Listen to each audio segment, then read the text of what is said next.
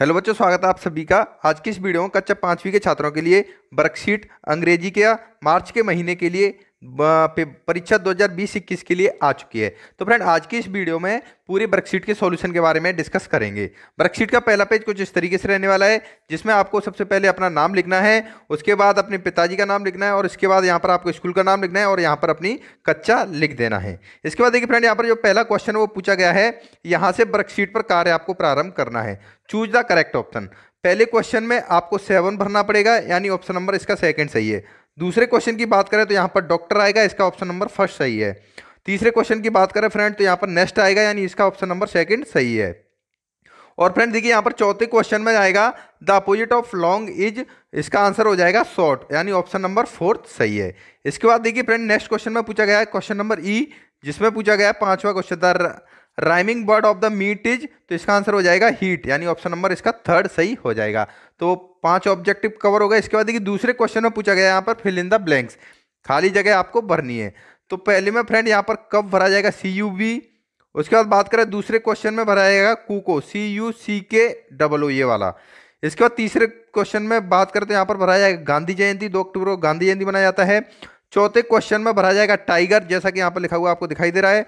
पाँचवें क्वेश्चन में भरा जाएगा चेयर्स और छठवें क्वेश्चन में भरा जाएगा मंथ इसका सेकंड वाला और सातवें क्वेश्चन में यहाँ पर भरा जाएगा टाइम तो आपको फटाफट से वीडियो को पोच करके सारे आंसर नोट कर लेने हैं. इसके बाद बात करते हैं तीसरे क्वेश्चन में आपको मैच था कॉलम्स कॉलम को मैच करना है तो किस तरीके से मैच करना है? चलिए यहाँ पर मैं आपको मैच करके दिखाता हूँ फटाफट.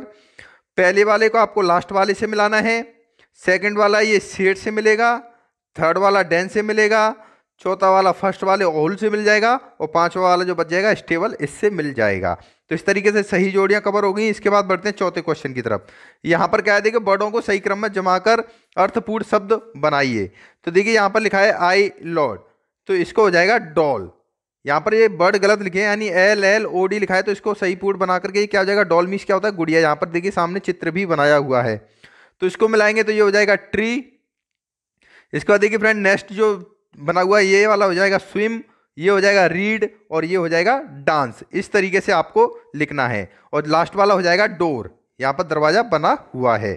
इसके बाद पाँचवें क्वेश्चन में पूछा गया है तो देखिए यहाँ पर सबसे पहले आपको लिखना पड़ेगा बेस्ट जो खाली जगह नेक्स्ट के सामने क्या लिख देना है आपको बेस्ट दूसरे क्वेश्चन का आंसर है write two lines of the poem that you like most तो यहाँ पर दो लाइन ये हमने लिख दिए ये सेम टू सेम लाइन आप अपनी नोटबुक में, जो आपकी वर्कशीट है, उसमें लिख देना।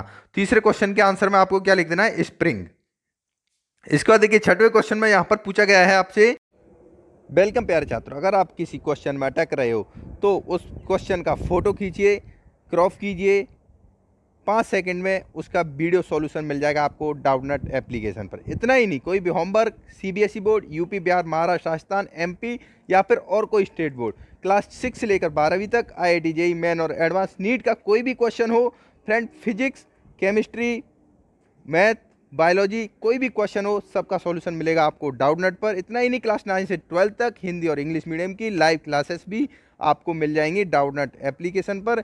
इतना ही नहीं फ्रेंड तीन करोड़ से ज़्यादा स्टूडेंट इस एप्लीकेशन डाउनलोड कर चुके हैं। आप भी जाइए डाउनलोड कीजिए लिंक डिस्क्रिप्शन में। कहानी पढ़ें और नीचे दिए गए वाक्यों को क्रम से जमा कर लिखें। यहाँ पर नीचे आपको पाँच वाक्य दिए हुए हैं। इन पाँचों को क्रम से लिखना है, यानी नंबर वाइज लिखना है। तो देखिए, यहाँ पर पाँचों वाक्यों को क्रम से लिख दिया गया है। फटाफट से वीडियो को पोज कर लीजिए और इन पाँचों आंसर को अपनी वर्कशीट में नोट कर लीजिए। या फिर आप इसका स्क्रीनशॉट ले लीजिए या फिर इसका पीडीएफ डाउनलोड करना चाहते हो, वीडियो डिस्क्रिप्शन में इसका लिंक मिल जाएगा, जाकर के डाउनलोड कर लेना। इसके बाद देखिए फ्रेंड यहाँ पर प्रोजेक्ट वर्क स्टार्ट हो जाता है। तो सातवां क्वेश्चन है, इसका आंसर यहाँ पर नीचे दे दिया गया है, लिख दिया गया है। आपको फटाफट सेम टू सेम इसी तरीके से आंसर लिख लेना है। उसका देखिए फ्रेंड यहाँ पर नेक्स्ट क्वेश्चन पूछा गया ठंड के मौसम में उगने वाले कोई चार फलों के चित्र बनाए और उनमें रंग भरें और उनके नाम लिखें। तो यहाँ पर चित्र अपने आप, आपको बना लेने हैं। और कौन सी सब्जेक्ट के वर्कशीट का सॉल्यूशन चाहिए कमेंट करके ज़रूर बताना।